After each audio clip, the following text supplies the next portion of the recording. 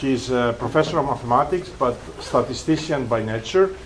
Uh, he's affiliated with the business school and also the Army Research Lab. And as you can see from the title of his talk, really his interests are in the interface of data science, big data, statistics, and uh, topology. Uh, and also he is uh, associate editor of a new journal in data science called uh, Foundations of Data Science. He tried to drag me into the journal as well. Yeah. Uh, you are there? So uh, the light is on. Awesome. Uh, you're ready to go. All right. So first of all, thank you very much, Professor Zabaras, for inviting me and having me here. I had a good time today learning about uh, what your group does and some other colleagues here in, in uh, at Notre Dame. So, um, what I'm working on is at the interface of data analysis, statistics, and, and, and topology. So today I'm going to tell you a story uh, that is being motivated and we're working with material data. So these are my collaborators at uh, um, with, with respect to the materials uh, uh, problem. And then the way we are approaching this problem is by engaging uh, topology, topological data analysis with Bayesian statistics, and these two guys, uh, Forzanas is in my, uh, is a postdoc in my research group, and, and Chris who is uh, a student who graduated, and both are in the job market, by the way, uh, in case you're interested. Uh, so, and, and let me acknowledge before I, I start that these are my uh, uh, people who entrusted their money on my research group. Um, okay, so I'm going to talk about high entropy alloys. That's how we start. High entropy alloys are a new, relatively new class of materials with unique properties. So strength increases as the temperature decreases. The hardness increases as the material is rolled down to 0.07 millimeters from an original thickness of 3 millimeters. Uh, to corrosion and some other fantastic physical properties. So an aerospace is, is, is really interested in, in, in the characterization and, and understanding uh, high, uh, synthesizing high entropy alloys. Uh, and that's how why my colleagues at Oak Ridge National Lab and, and, and UTK are interested about this. So what we try to do is we do this experiment. Uh, I don't, my, my colleagues do, uh, the atom probe tomography. And basically, it's by taking local structures, they try to reconstruct a 3D atomic map, if you like, of, of this material. So, so this process recovers approximately 10 to the 8th data points. However, 65% of them is not captured, so there is a lot of sparsity in the data set itself. And, all, and even when we recover the data, then this data is corrupted by noise. And, and, and, and the holy grail to this problem is what I have in bold. We try to uncover the true lattice structure from, from the APT data set. So what you see here is a, is a slice of this, of this data set, a thin slice. Okay? So if you extract uh, uh, neighborhoods, uh, then they, they look like this. So by, by naked eye, if you just look at it, this is the stoichiometry by the way. So by naked eye, if you just look at it, there is no way you can identify a pattern other than the orange region, which signifies it's copper rich. Okay? So other than that, you cannot really tell much. So so apologies if, if, if you know a, a, lot about that stuff. Uh, uh, typically I talk to uh, uh, mathematicians and statisticians, so they may not know the chemistry behind it. I cannot really claim I know much other than what I'm, I'm telling you now, is that when we try to extract these, these local neighborhoods, then, and we try to understand the, uh, uh, the structure of these cubic units, then we have at least in this paradigm here, we have two types of crystal structure, the body center cubic on the, uh, in the center and the face center cubic uh, here on the very right. So what the difference between, between those two is that here in the face center cubic you have an atom that is sitting on the face of, of, of, of this cube. However, the body center cubic you have a, a, a, a, an atom which is at the center of, of this cube here. So what that means to me is, just to give you kind of like a hint on, on where I'm going with that, is that this guy here, the, the FCC, it is hollow inside, versus this guy here, which is not hollow inside. Okay? So I will try to take an advantage of the shape of the data, if you like, uh, uh, to kind of like classify and, and understand what is going on in this, in this local uh, uh, uh neighborhood. Okay, uh, so, so here what you see on the left-hand side is an idealized FCC, but when you do the atom probe tomography experiment, then you get a lot of distortion, so it's not really like this. And at the same time, you get a lot of sparsity, so lots of atoms are, are, are missing. Okay, you don't see this idealized uh, case A that uh, uh, we would like to. So, so machine learning to materials. Okay, so so recently there is a whole crusade on how I'm going to use machine learning to basically try to predict whatever I need to predict. so some certain properties. So what these methods do is they get the materials data, then they do their machine learning, their favorite machine learning uh, algorithm, and then they, they, they get some, some predictions uh, based on that. So, so here I have, I have listed some, some, some work, some relevant, uh, relevant work, and today what I'm going to focus is on crystal structure classification. So I would like to see uh, uh, if I can use my machinery so I'm going to tell you my machine learning algorithm, my think arrow if you like, uh, uh, uh, to understand, to classify BCC versus FCC. Okay? Okay, so this is what I just, I, I just said. So, but I'm coming from a, from, from, from, a, from a totally different point of view. So, so my viewpoint is that I would like to merge I would like to understand the geometry of the data and classify them by merging statistics and, and, and, and topology. Okay? And, and this is a very active field in, in, in, in statistics and in data analysis, data science. And, and, and it has been introduced in several other fields from, from uh, signal classification, time series classification. So, so it's not only just on, on materials. All right? And we've done work with, with it. So, so personally, um, this is the kind of data that I, I have worked in, in, in, the past. So here what you see on, on the left-hand side is, is, is a fossil. It is called Pentremites. So this is at the uh, very dangerous borders between Tennessee and Kentucky. Uh, and, uh, and what you try to do is you try, these paleobiologists go there, they get some uh, uh, uh, rocks, and they try to understand if it is of Pentremites style or if it isn't. Okay, if it has like this type of, of pattern. Of course, they never recover rocks like of that perfect perfect shape. Okay.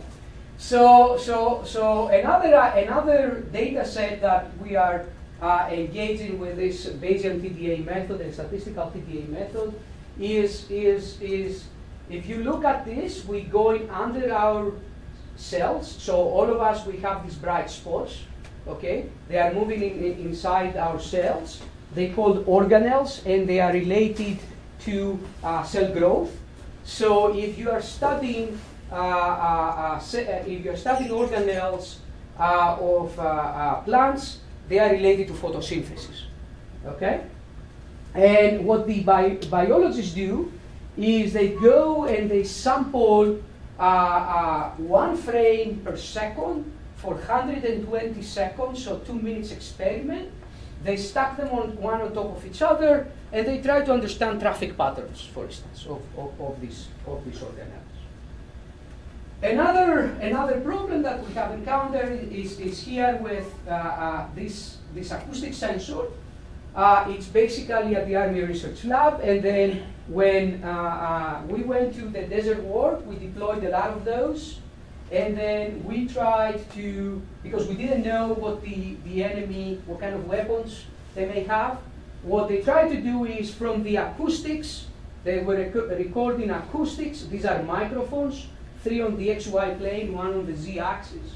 They were recording uh, uh, acoustics and they were trying to identify from these acoustic signatures uh, uh, what the weapons may be. Okay? Another type of classification problem. So all this idea is basically the data has shape and the shape matters. And why? Because there are hidden topological features in, in this scientific data.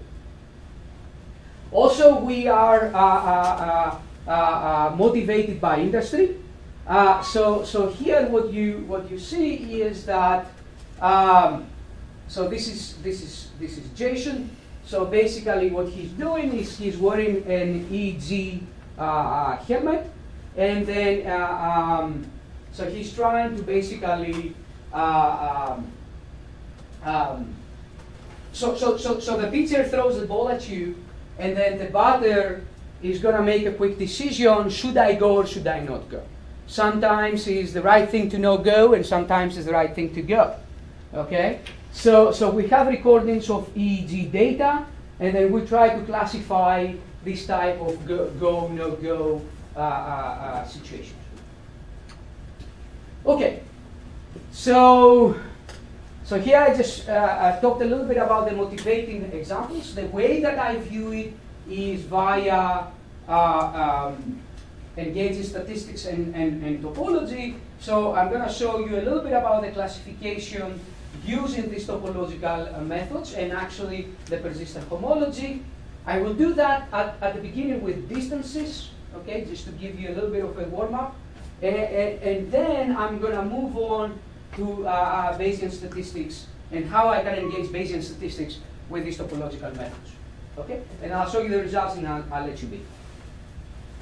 Okay, so so so the way we could view these these these uh, uh, 3D, 3D objects, if you like, or these these objects, then we can discretize them and we could use something that is called simplicial complexes. Okay? The simplicial complex, one way to view a simplicial complex is as as a generalization of a graph with higher order relationships among, among the nodes. Okay? So, a simplicial complex basically, uh, so these next three bullets is, is, is the mathematical definition without getting too complicated. Uh, a simplicial complex is the union of simple pieces which means vertices, the zero simplex, edges, one simplex, triangle, two simplex, tetrahedron, and so on and so forth. Okay? A face of a k simplex are all the k minus one simplexes, and two simplices must, must intersect at a common face or not at all. Okay? So this is the cause. So let me see how I can use the simplicial complex for data. So what you see on the left-hand side here is my data set. Here is going to be scratch paper number one, and this is going to be scratch paper number two. And I will be doing the algorithm actually. We'll be doing certain things, but we'll do it manually today. So, so what we do is we first go and we draw circles of radius epsilon centered at each point. Okay? And then the algorithm asks the question. So here I, I, I picked 0.6 as the radius. Okay, this is a, just an abstract choice. And then, and then I ask a question. Do these circles intersect, yes or no? If they don't intersect, as in this case, then in scratch paper one you do nothing, but you go in scratch paper number two, and then you create seven bars, as many as the data points, okay? where they extend from 0, where your algorithm started, to 0.6, which is the radius we just selected. Okay? And then you, you, the algorithm continues to the next iteration, increases by, uh, to 0.71. You ask the very same question, do they intersect? The answer is yes now. So you go and you draw edges between those nodes. So that means that this dude right here is going to evolve as a cluster from now on. Okay? So what's going to happen on scratch paper number two is that beyond 0.71, I'm going to drop my bars from 7 to 5. Okay? Because these two, I'm, I'm going to kill them, these, these two. Okay? So this is what I do. I increase the radius to 0.9. you see now, because this evolves as a cluster from now on, so it has been absorbed down here, okay? Then I have five different bars. Nothing else happened in 0.9, so I keep increasing, okay? So I ask again the very same question, do the circles intersect? The answer is yes, okay, in, in multiple points. So here I connect all these guys, and then here I connect these guys, and as you can understand, this is one cluster, and this is another cluster. So from beyond epsilon equals 1, then I will have only two bars that they signify these two clusters. Okay? But more things happen. So these circles intersect at the same time simultaneously. So then I go and I draw a triangle. So what that means to me, it means is a three-way communication at the same time of these three nodes. And just to give you a, a parallel, when you merge a phone call with three bodies, it's exactly what the triangle means. Okay? You pass the information at the same time. That's why I call it a generalized graph, because it can capture communications of that things simultaneously for these nodes, versus me passing the information to the next node and the other nodes to the other node and then back to me. Okay? But more things happen. So right here, I created a hole. So I'm gonna go on my scratch paper number two, and beyond one, with a different color, okay, a different label if you like algorithmically, I will be start tracking this hole, okay? So I've increased the radius to 1.2. See, this is from 1 to 1.2. Now I have this red thing here. I have only two bars. Nothing else happened. I increase it to 1.25. Now all the circles intersect, but I created a second hole. So I will be start Uh, uh, uh, tracking it here with the, with the red color. Okay? But also, I have now one cluster. So now from now on, beyond 1.25, I'm going to have only one bar. Okay? So I increase the radius to 1.42 and so on and so forth. So you see the one bar, you see the second hole, and then, uh, which actually just died right now, okay, since it got covered from 1.25 to 1.42. And then I continue to 1.75, and now something happened. All the circles intersect, there are no holes anymore. Okay, they got covered by, you see by these triangles here. Okay, so beyond 1.75, I'm gonna kill my algorithm because it doesn't offer me any more information. Okay, you can keep increasing the radii, nothing else is, is, is happening. Okay, so basically what I did is I started with this data set on the left-hand side, okay, like this, eh, oops, and then I ended up on this, which I call a barcode, okay? Now, if you take the starting point and the ending point, okay, of every single bar, then you can create a birth and a death kind of diagram, as we call it, and this is the persistent diagram. So I represented these, okay, in this case it's a simple data set, which I represented with this persistence diagram, okay, on this upper wedge field, okay? So what I'm interested is the persistence of the clusters, the connected components, if you like, and the persistence of the holes. Okay? How that how many radii it took me for this whole or for these clusters to merge. Okay? So I can play exactly the same game in, in, in more complex data. So if you ignore that uh, the atoms, these are atoms in a cubic unit, so if you ignore that the atoms have uh, uh, some sort of personality, okay, so just like they are all just dots, okay, and then you play the same game as, as, as, I, as I showed you, then, you, so I start increasing the, the, the spheres here, then eventually what you could do is you could transform such a complicated data set to a certain extent just to an R2 type of a graph. Okay? So here is the body center cubic neighborhood from the APT experiment, which transformed into this persistence diagram, and then the face center cubic, which transforms into that, into that diagram. Okay? Now, I talked about holes, but you can have two-dimensional holes. A two-dimensional hole like inside the basketball, basically. It's hollow. Okay? So this is what I have with a hole. And basically, a, a face cubic, uh, a, a center cubic unit will have eventually a void because it's hollow inside. Okay? So, so, so somebody could say, okay, so if I want to do a classification, what you taught me so far is that I can start with the, uh, uh, uh, with the BCC or the FCC, I do this uh, uh, uh, machinery, and then I get down to this persistence time. So how would I classify them? I will just put a distance, okay, and I will measure their difference.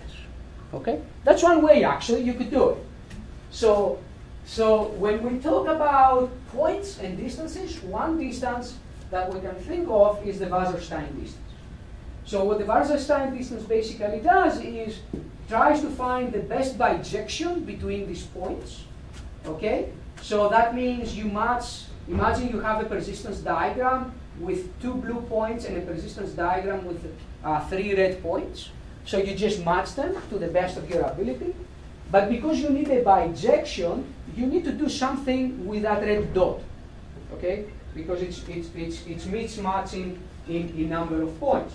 So what you typically do is you assume that the diagonal, okay, which means birth and death at the same time, so it's kind of a fictitious assumption, okay? It has infinitely many points with infinite multi multiplicity, so all you do is you just project it down to the diagonal, and you look at the you look at the distance uh, uh, from the from that. So that means there is not an explicit penalty uh, uh, uh for the cardinality differences between uh, the persistence diagrams for, for the for the different difference in the numbers. Okay, and, and, and somebody would tell, okay, and why do I care about these little points? Okay, so here is the deal. So so so look at this this this blob here, if you like. Okay, and and and this and this graph here that it has four attractors. Okay, so if you do this machinery with the persistence diagrams and you look at the green points, which are the holes, okay, and you do 100 of those, we did 100 of those and 100 of those, then the average number of green points you get is 210 versus 240. So their difference is of the order of 30. And most of them are extremely close to the diagonal, which means if you just take the distances from their diagonal, and then you take the sum that it says here, okay, that means you are going to pass a distance threshold criterion, and you're going to misclassify those two. Okay? And that might be okay for this, example, but look at this difficult problem. So right here, what I have is a, is a circle, okay, which actually is a, is, is a, this is a phase space, a proxy phase space of a periodic signal, okay, versus this, which is a proxy phase, phase space of a W periodic signal, okay. So if you look at that, they both have a hole in the middle, which is represented by these green points here, okay. If you look at their differences in cardinality, it's only three points. So if you do a distance-based classification, you are going to badly misclassify these two as being of the same kind. Okay? And as I said, the driving dynamics, the underlying driving dynamics are totally different. Okay? So we have a problem with the cardinality that we need to fix. Okay? So, so I need a different distance, which penalizes outliers as well as the Wasserstein, but bypasses this much into the diagonal. Okay? And the differences in cardinality and geometry plays a, lo- a role in the classification problem. Okay? So, so at the beginning, studies started saying, oh, don't worry about these points on the diagonal, it's just noise, forget about it. Okay? But now we, we finally turning this around and then we say, no, it actually, you have to care about the noise. You have to care about this underlying noise because it may be hidden these small geometric differences as you could see here. This is the local geometry that, he, that, that is, is hidden here somehow in these small points. Okay, so this is exactly the distance we, we, we posed. I'm not going to say much about that other than you take a persistence diagram which has endpoints, you take another persistence diagram which has endpoints, okay? Uh, uh, M, N as in Nick, M as in Mike, okay?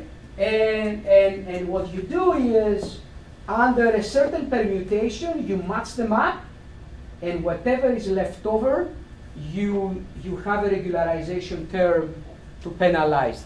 Okay? So this is a very typical machine learning penalty that we do. We always not only match as in Wasserstein, but we regularize at the same time. Okay?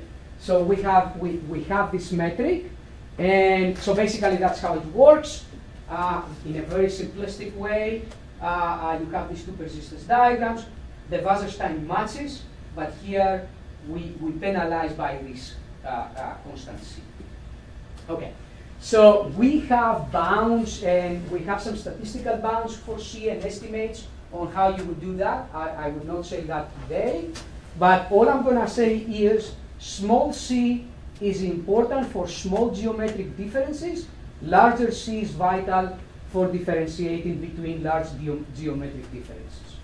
Okay? And, and, and we have some stability results. So basically, if you have data that they are very close to each other, their persistence diagrams will be very close to each other. So this is like a continuity result, if, if, you like, with respect to the persistence diagram.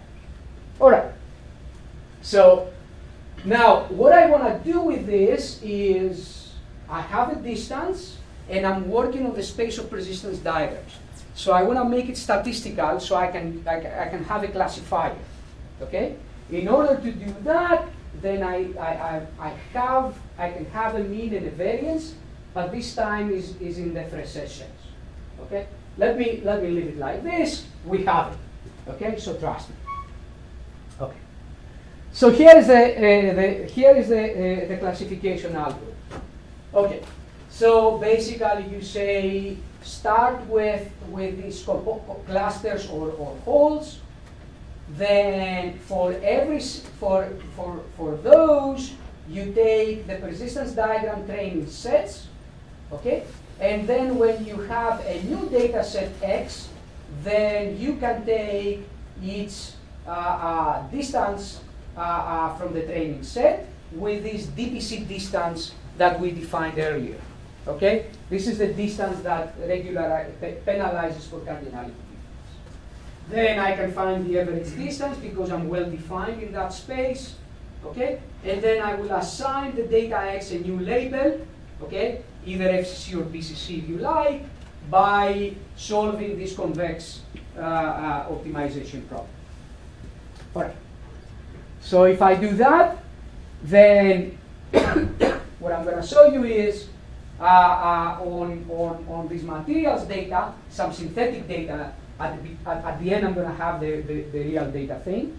So, so we, we tested on a top, we did a tenfold cross validation.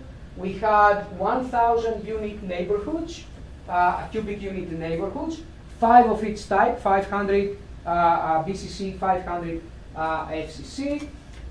We partitioned the, the data set into 10 different data sets.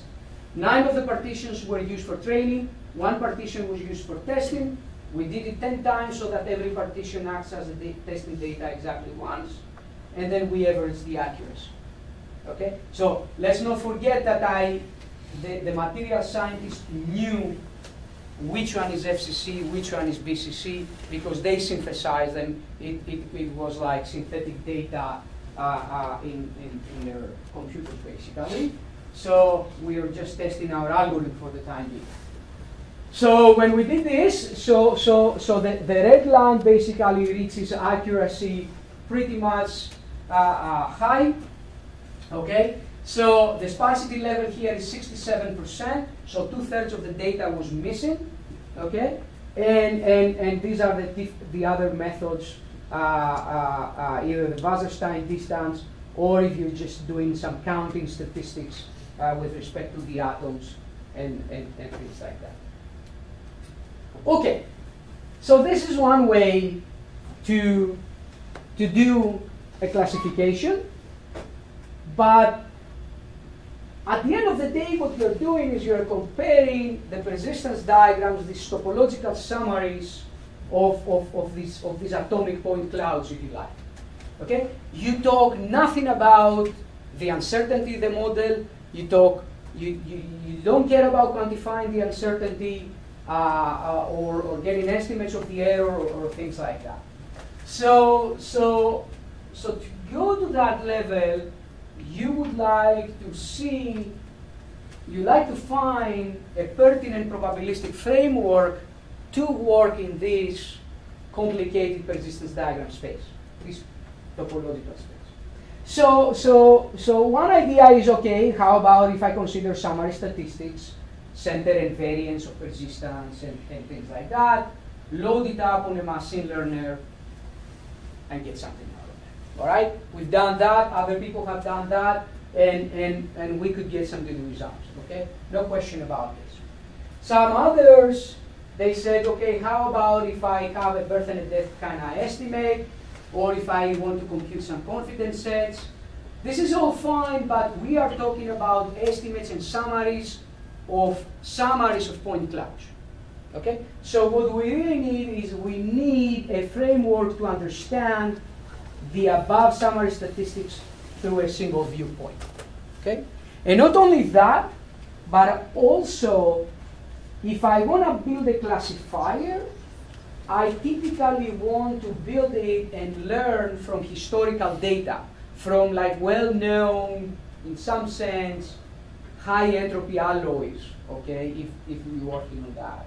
Or if you're working with, with signals, you would like to build your classifier in, with, with historic data that you have, you know what's going on.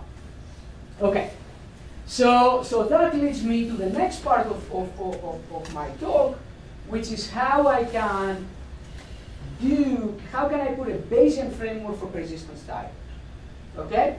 So, so the first discussion of, of Bayesian in this topological context was early on actually, in 2011, so about nine years from now, uh, where they basically, at the end of that paper, they said, okay, if you want to have a conditional probability, maybe this is the way to define.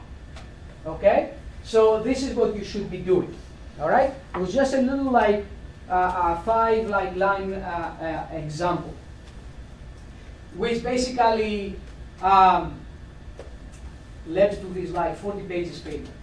Uh, so, so what it says is, okay, so, so, so here I, I think you are very familiar with this formulation. You say that your posterior is proportional to the likelihood times the prior, all right? And, and it is clear cut what is what is Bayesian for random variables would be, all right? But what is Bayesian for random persistence diagrams, okay? So what I'm going to do now is I'm going to basically, instead of considering, instead of considering birth and death, okay, I'm gonna tilt it this down, and then what I'm gonna do is I'm gonna consider birth Uh, and death minus birth, which I'm going to define this as persistence. Okay? So I just, so this is what you see here. Okay? So no more diagonal anymore. I just get rid of it. I like to work with the first quadrant. It's really nice. Okay? So, so when I view things like this, when I see these points on R2, then a very natural way to think about that is that basically a persistence diagram is generated by a point process. Okay? So if I have a point process framework, maybe I get lucky. Okay? And then I will go one step further because I'm, I, I don't like, I, I need to compute this algorithmically. So I have already used in my algorithm another algorithm to go down to this persistence diagram so I would like to compute as less things as possible. So maybe I will consider a Poisson point process instead, so that I, I, I could focus on one parameter, which is the intensity density. If I have the intensity density, then I can, I can compute the cardinality distribution by integrating it out, basically. And then the spatial distribution of the points can be given like this. Okay? So another approach is to consider random set theory if you like, and then you, you, you establish kernels on the space of persistence diagrams. How you do that is just by taking a Gaussian mixture around this, this point. This is something actually we have, we have done, uh, but it's beyond the, the scope of this talk, uh, and it will take us a different route. So uh, if you are interested, it's, it's right here. Okay, so so I do have this prior distribution now, and I can train my model into that, but then at the same time, we get this observed data, okay, that, okay, we get this observation. So the idea now is, okay, wait a second. I do have the, the sample, the prior sample, which are the red squares, and I do have the observations, which are the red dots. How the heck how the heck are they associated? Now to do that, then I'm going to resort into the theory of the marked point process. Okay? And this is actually the key to this Bayesian framework. Okay, this specific slide. So what it says is that a point process, so a marked point process is basically a point process, okay, where if I take the black squares and then some function m, which I call a mark, okay, then this guy, the xi comma m of xi is, is a point process. Okay? And then these marks are drawn independently from some stochastic kernel L. Okay? What this means is that I'm to consider certain probabilities to join, okay, under a certain probability, I'm going to match this red square, this, I'm sorry, black square with a red dot, or this black square with this red dot, and so on and so forth. Okay? So this is defined by the, by the kernel, by the stochastic kernel of this marked point process. Okay? And precisely this probability is going to be the likelihood of my Bayesian model. Okay? Now it, there is a problem with this. Because you are working in a probability space and then you have to consider all the different configurations, all the different matchings, if you like, between the uh, uh, uh, black squares from the prior and the red points from the observation space. Okay? So this is configuration number one, and this is configuration number two. The likelihood of this, obviously, you can think has been higher than the likelihood of that, right? So if you wanted to match these, these guys, most likely you would match it this way versus the other way. But, but the model, the, the, the, the, the statistics is agnostic to that. It has to take into consideration these different configurations. Not only that, but you, so these are the gray, the gray regions, which is the mark process. But as you can see, because we have mismatching in cardinality in, in number of points, you are going to have points from the prior, okay, which did not match. All right? Why did not match? Maybe because the noise was so high in the observation that we did not see this topological feature. Okay? That it was supposed to be there. All right? So, so these, these, these blue regions basically have, so every single point in every single configuration has a certain probability to be observed, if you like. Okay? Also, you have mismatching from the red dots because, okay? So, so, so here, this type of yellow, uh, uh, uh, uh yellow region, it means it is just purely noise. Okay? That is not much. So it's basically uh, crap. So if you put all this, all this, all this together, then we have the theory, the Bayesian theorem for persistent homology, which basically says if I start with a prior intensity, uh, uh, for the for the prior, and then they take the likelihood which is associated with the stochastic kernel of the point process. Then the posterior is given by this equation number one. And then here you could see this is the uh, this uh, here it shows almost identical colors. I'm sorry about that. This is the blue regions because this is alpha is the probability to match. 1 minus alpha is the probability to not match. So that's why here this term comes only from the prior. But on the right hand side here of this summand, uh, uh, here is the match points, okay, the gray regions, which you basically normalize them by, okay, this, this totality, okay, but plus this extra term here, which comes from the noise of the observation. Okay, so this is how you quantify the, the, the noise, which is the uh, uh, which is this this little intensity here from the yellow region. Okay, but when I first teach Bayesian, uh, uh, the very first exercise we do after the formula is you start with a prior Gaussian, likelihood Gaussian, then what's going to be your posterior? Okay, this is the first exercise we do. Uh, and obviously it's Gaussian with certain mean and certain covariance. That depends on the prior and uh, the gain between the prior and, and, and, the likelihood. Let's do that here, okay? Because at the end of the day, I would like, I would love if I have a, a computationally fast, tractable algorithm that can tell me, look, man, this ugly formulation here, it, it it would be nice if I could compute just updates of covariance and of covariance at the mean. So we do play exactly the same game, and we do prove that that if you start with a Gaussian mixture as, as your prior intensity, your uh, associated likelihood is another Gaussian, then the posterior is going to be a, uh, uh, a, a Gaussian mixture with this with these updates here. Okay. So so let me tell you a little bit how it shows. So uh, uh, imagine you have some circular data. Uh, the ground truth is the circle, the red circle. The points are small perturbations. Okay. You get an informative prior. Okay. And if you focus just on the hole, which basically would be only one data point given by this green, then the posterior has uh, uh, uh, a very tight variance. So it, it's doing its job. Then you increase a little bit the uncertainty from the informative. Okay, the data remains the same.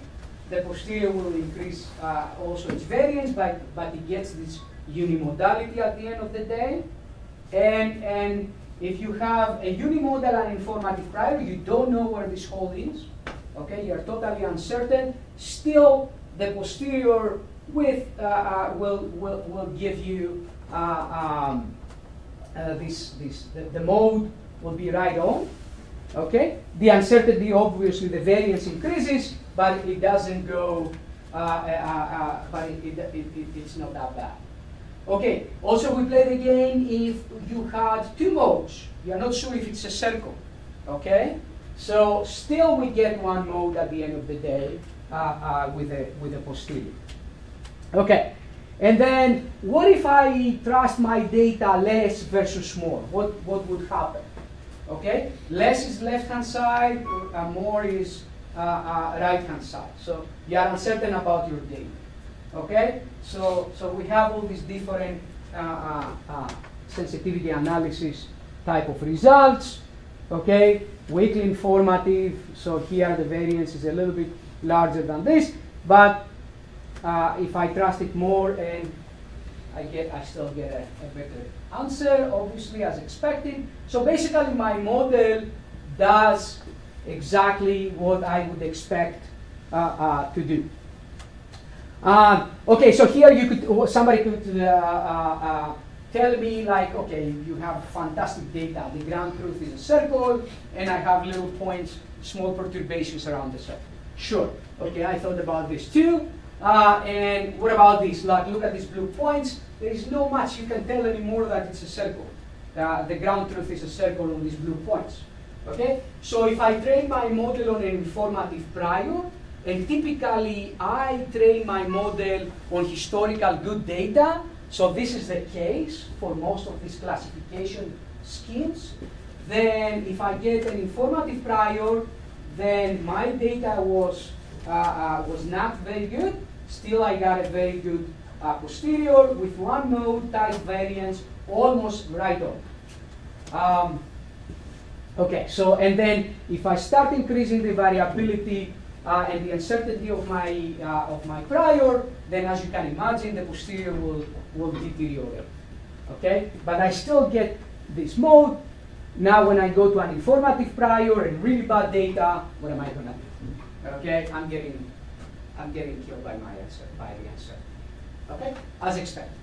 All right, so so I only have five more minutes. Uh, so so let me show you what we've done with this approach. So we consider 100,000 of each crystal structure. That means 200,000 data points, uh, uh, which were synthesized uh, uh at Liaw's research group and at UTK, and Oak Ridge National Lab. So basically what we have here is, is, is this guy versus that guy. So we would like to distinguish between the BCCs and the FCCs. If you do it by naked eye, there is no way you can tell anything about that. All right? So, so, so this is the flow chart of, of, of the method, which basically says trans take these uh, uh, cubic units, BCCs, FCCs, change them to these uh, persistence diagrams of that type, birth, uh, birth and persistence. Okay? Then I'm going to train on known databases my, my um, I'm going to train them on, on known persistence diagrams, on known bases, and then I'm going to get these posterior distributions. And once I get a new type of, of, of, cubic unit that I don't have an idea if it is FCC or BCC, I'm just going to plug it in on, on this ratio here, which is called Bayes factor. Okay? It's the ratio between the two posteriors. Okay? And then I will have a decision criterion. So, so we used 50% of the data as training sets, and we did a tenfold uh, uh, cross-validation, and then the accuracy in this particular data set was 94%. Uh, All right. So, concluding. Uh, today we, we, we, we chatted about classification of crystal structure of high entropy alloys using statistical learning topology. The very first part we did, uh, we did the DPC distance, okay, this, this, this new distance that not only penalizes uh, uh, uh um, not only penalizes outliers, but also penalizes differences in the number of points. And then we switched gear by, by using this generalized Bayesian perspective, which allows the flexibility to use historical data or purely data-driven if you like, okay, you want to use a uniform prime, okay, by using these, these Bayes factors. And then at the end of the day, we filled in this table, okay, this table, uh, which is the Bayesian for random uh, uh, uh, persistence diagrams, which says I start with a Poisson point process with intensity lambda, then the likelihood was from the marked point process, and then I, I ended up with the Poisson point process as a posterior. So all these algorithms that I showed you, uh, um, you can download it from, from my GitHub, my lab's GitHub if you like. And uh, one last slide is the following, an announcement. So um, we have these general foundations of, of, of, data science. So if you guys have a cool uh, uh, paper you'd like to share with us, please please uh, submit it. And and uh, Professor Zabaras here is, is one of these uh, associate editors. He's right here you can read. but I will be very happy. And with this, um, thank you very much.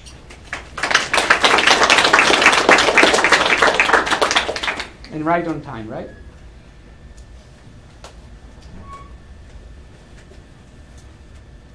Yes, please. So, um, these distance search algorithms and stuff. Louder. Oh, yes. With these uh, distance-based algorithms, um, is there a potential issue regarding scalability?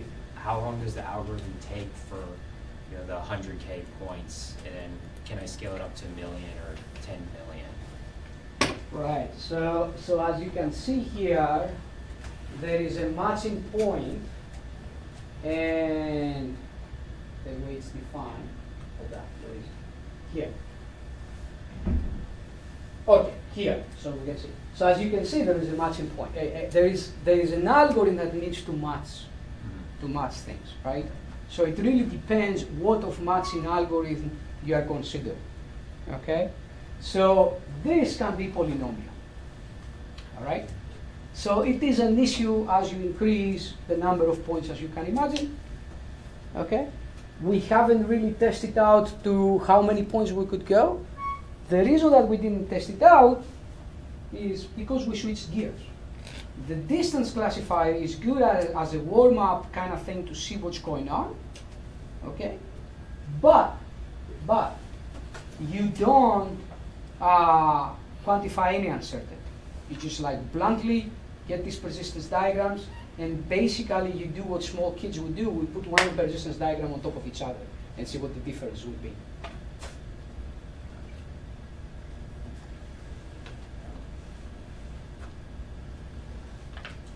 So um, with basically this uh, graphs that you generate, would it be possible instead of um, having first basically persistent plots, reuse the graphs that associate with each basically point, you know, percent depth? Uh, can we do like some feature analysis with those graphs instead of just simply plotting the uh, birth versus death plot and do the analysis? And if so, how large these graphs get? This- I, I don't think I understand your question. Oh, in page 17, you were. Oh, page 17. Oh, all right, all right, let's go there. Yeah, these graphs that you generate in the middle figure. Yes. So each basically birth and death is associated with one graph, right? Okay, so so with one graph. So basically what I do is I start with this, I take this, I ask my question, right? Okay, so now I, I, I did this graph. Yeah, so each graph. Because every at every layer, which is like at every epsilon, at every radius, there is gonna be some sort of communication, some sort of association. Yeah, Alright. I don't really care about this implicit complex per se. okay. This is an intermediate step to basically characterize this data set with these bar graphs, the bar plots, okay, or the persistence diagram. This is basically how this algorithm is creating these persistence diagrams. That's what I really care. Alright. So, so, so what I said at the beginning is I care about shape, okay? But if you go uh, uh, to Notre Dame campus and ask, tell me a keyword next to shape, most, okay, some people may say geometry, all right? So, but geometry is very rigid, okay? Why it is rigid? Because even for a little circle, you need a center and a radius to characterize it. But when you look at it from a topological point of view, if you, if, if if if you say so, um, so all I care for the circle or a data with which whose ground truth is a circle is, is, is, is the empty space, the hole that, that the circle has in inside. So in some sense, instead of caring about a center and, and, and a radius, I care about this persistence diagram which is just one little point above the diagonal, okay? So, and, and this is what I focus.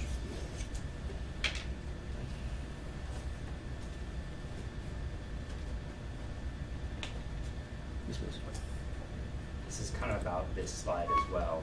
Okay. Um, so not exactly. This is 15. persistence. Yeah, yeah. Um, for developing or generating these persistence diagrams, um, I'm just curious if instead of using a circle, what if you use like a rhombus? I'm thinking in terms of sparsity and those like Yeah, different absolutely. regularization methods. Okay, so I'll take you to slide uh, four or whatever. Here, it was ten. See this guy here in the middle? This guy in the middle. Okay, so if you try to track a pattern over I-40 that goes from North Carolina to, to all the way to California, okay, it goes like east-west. So, so if you see this, this, this data, all you need to do is, if, if I go and I plot a circle, is not that smart. But what I would like to do is I would like to have a, a, a directionality in, in how I plot these guys. So maybe an ellipse, which is more like this, would be more appropriate for me. So what you need is some convexi- convexity around this, this, these points. Okay? So that's what you would plot.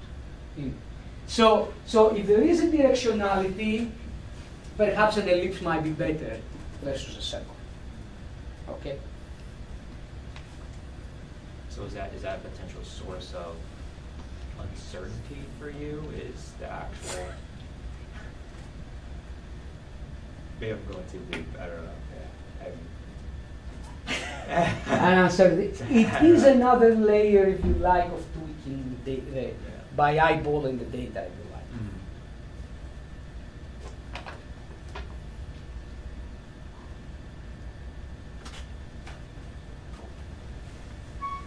How about uh, uh, using topology in high dimensions, beyond uh, Euclidean space, you know, going to 50, 100, 200 dimensions? What, what's the state of the art? Uh, So what is 5000? what is, uh, What is 50, what did, whose dimension is 5000?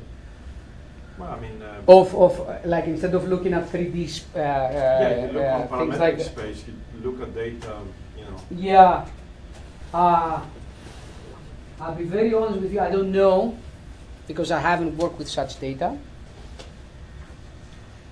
But to create these graphs,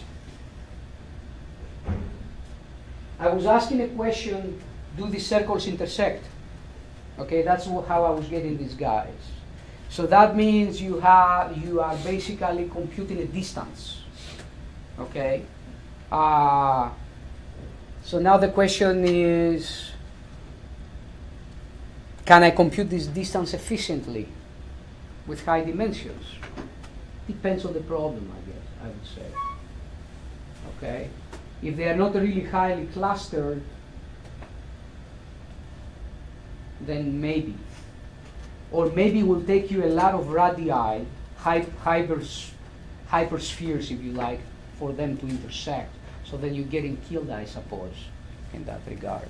But most of the intuition is being lost in the high dimensions, so effectively, Yes, because they are Yeah. they are like sparse. They are like Yeah, really far away yeah, from each other. So so yeah. So that's what I'm saying. It will take you a lot of epsilons to intersect.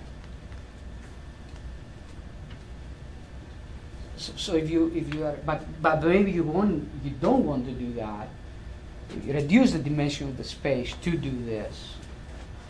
But how do you return back? That's another story. It's a very interesting story, actually.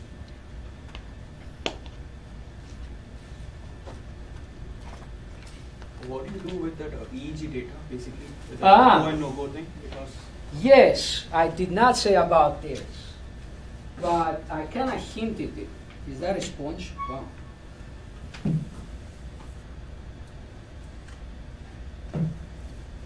Okay. we have four minutes for taping, by the way. Okay. So uh, I, all I need is a minute. So if you have a, a, a, a periodic signal, so you do something that I'm not going to say what, but it's called embedding. Uh, or if you are in dynamical systems, you have heard about this, this name, okay, the Takens embedding.